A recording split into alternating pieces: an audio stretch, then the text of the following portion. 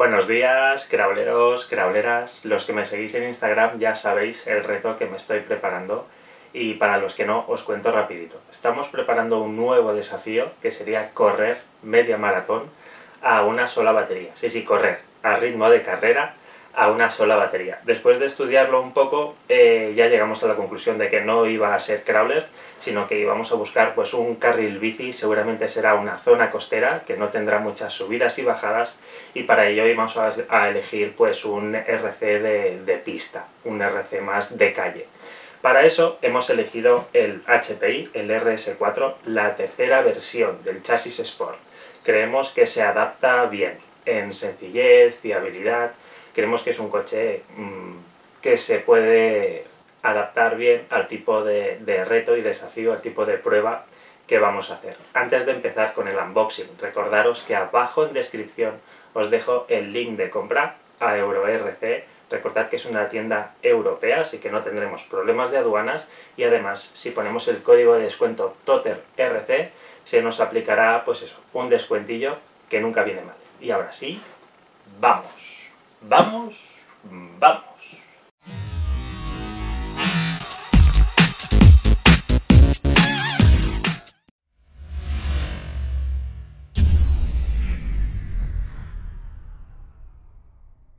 Y ahora sí, nos liamos con el unboxing del nuevo HPI RS4 Sport 3. Me lo tengo que leer porque es que de hecho no me lo sé. Carrocería BMW E30. Es un Touring, un coche de pista, tracción a las cuatro ruedas,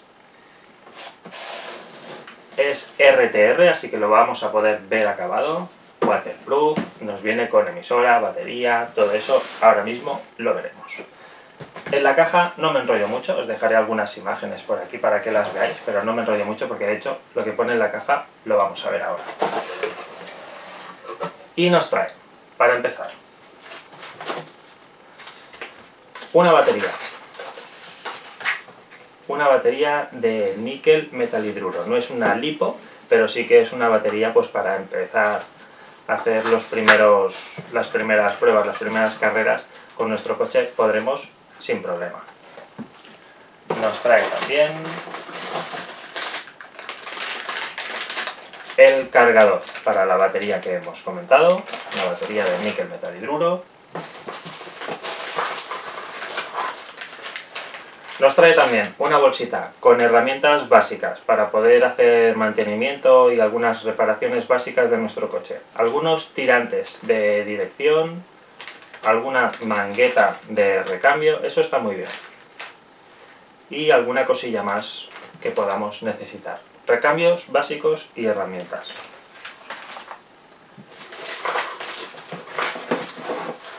Nos trae también cuatro pilas AA para la emisora que también se incluye. Vamos a abrir la emisora a ver qué tal.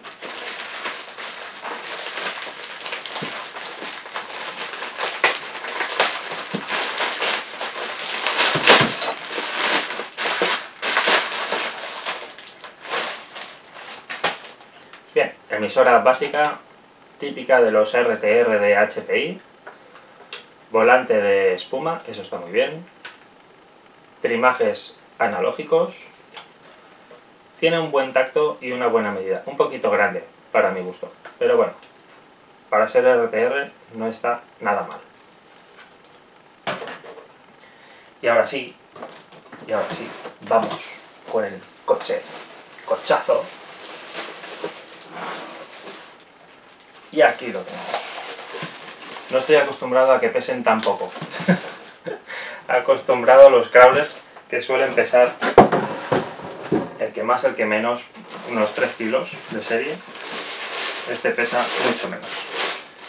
Quitamos la bolsa.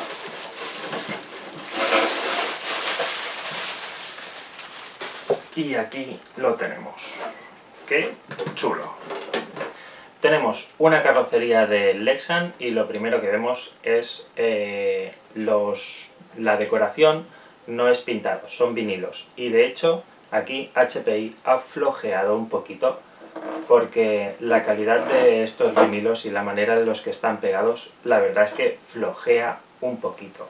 No me lo esperaba así, y menos de HPI. Me esperaba no que fueran pintados, sabía que HPI eh, no suele decorar con, con pintura, sino que suele decorar con vinilos, pero sí pensaba que estarían un poquito mejor pegados. La verdad es que el operario que pegó estos vinilos, eh, desde luego no tenía el día. Pero bueno, no sé si todos los modelos vienen así. Este sí flojea un poquito en eso. De todas maneras, la carrocería es una chulada. De hecho, el BMW E30 para mí es de los coches más bonitos que hay de calle. Eso sí, comentar también que en detalles mmm, brillan por su ausencia. O sea, no tiene ningún detalle. Los faros y todo lo que podamos ver son vinilos. De hecho, es solo una carrocería de Lexan y el único detalle así que tendría a destacar sería el alerón trasero que también es de Lexan. Lo demás no lleva espejos, no lleva brazos de limpia, no lleva parrilla frontal en plástico duro tampoco, sino que es eh, súper minimalista. Eso sí, tenemos ligereza. A cambio de falta de detalles, lo que se nos ofrece es un coche bastante ligero, que para lo que he comentado que lo queremos, pues tampoco nos viene mal del todo. Y ahora sí, quitamos carrocería y vemos un poquito el chasis. Antes de ver el chasis, comentar y fijaros en las ruedas, que eso sí, que son bien bonitas y bien detalladas. Son estilo BBS en dorado y aro, aro así como, como aluminio pulido. Y la verdad es que las ruedas sí que están muy chulas. Son de plástico pegadas a la goma.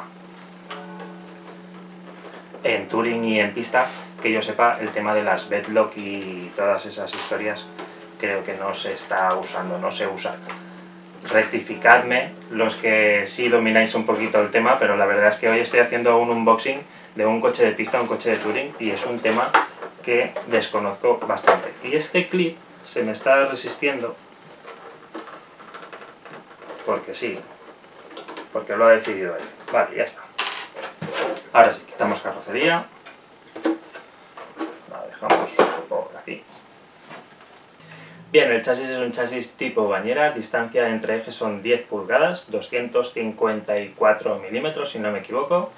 Tenemos los tirantes de dirección eh, en plástico y no tienen regulación, eso sería una opción aparte, eso sí.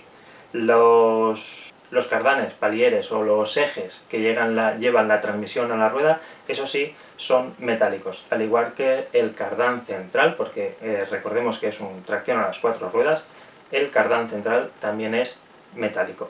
Además viene protegido con una tapa de plástico duro, que es un detalle que me gusta mucho. Al contrario de los Tamilla, por ejemplo, que viene al aire, viene desprotegido, este cardán central viene tapado totalmente y eso es un detalle que me gustó bastante. Las suspensiones, los amortiguadores, perdón, que también son de plástico, eso sí, eh, son de aceite, o sea, sí llevan silicona, no son amortiguadores de fricción, estos sí llevan silicona y el tacto es bastante bueno. Eso sí, no sé si tendremos que cambiarlos, ya que el uso que le vamos a dar no es 100% pista, sino que va a ir por la calle. Y si no recuerdo mal, en el recorrido que vamos a hacer eh, tenemos tramos adoquinados y tramos que no son eh, demasiado lisos, así que seguramente tendremos que eh, levantar un poquito la altura libre al suelo. Y no sé si para ello tendremos que cambiar los amortiguadores, ya lo veremos. El chasis se divide prácticamente en dos partes, una de las partes irá todo lo que es la electrónica y al otro lado irá, al otro lado de la cardán, al otro lado del chasis irá la batería. Aquí tenemos el servo de dirección va tumbado justo debajo de la caja de receptor Seguidos tenemos un variador sencillito de 60 amperios y detrás irá el motor, un motor 540 de escobillas 15T. No estoy acostumbrado a motores tan rápidos, eh, aún así la electrónica también la cambiaremos. Tenemos que perseguir un consumo muy muy bajo y seguramente para ello elegiremos eh, una electrónica brushless. Y en general lo que vemos, eh, eso sí, es bastante plástico. Eh, bumper delantero con protección de, espuma. Y si le damos la vuelta al chasis, aquí no es como los crawlers que podemos ver los ejes, links y, demás, aquí simplemente lo vemos todo, todo liso, plástico liso, eso sí, tenemos una tapa aquí central que nos da acceso a la cardán, donde desde ahí ya podemos desmontarla y engrasar, eso está muy bien, No solo eso, sino que también tenemos que esta tapa de aquí delante y esta tapa de aquí detrás también nos da acceso directo a los diferenciales delantero y trasero. Así, recordad, diferenciales lógicamente desbloqueados y funcionales. Y seguimos con lo que iba diciendo. Esta tapa de aquí delante y esta tapa de aquí detrás nos da acceso a toda la piñonería de los diferenciales para un mantenimiento y un engrase. La verdad es que ese detalle me gusta mucho.